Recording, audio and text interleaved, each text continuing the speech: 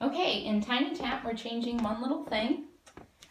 We're gonna start to the right, right, behind, right, dig, left, behind, left, dig. Instead of going forward and back, we're going to pick up our foot and do a spank, toe, stomp, spank, toe, stomp. Then we have our four shuffle stomps.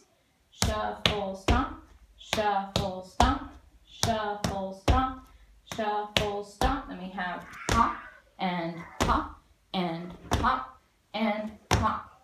Then the new part we worked on is where we swing our right leg over to do a dig, dig, dig, stomp, dig, dig, dig, stomp, dig, dig, dig, stomp, dig, dig, dig.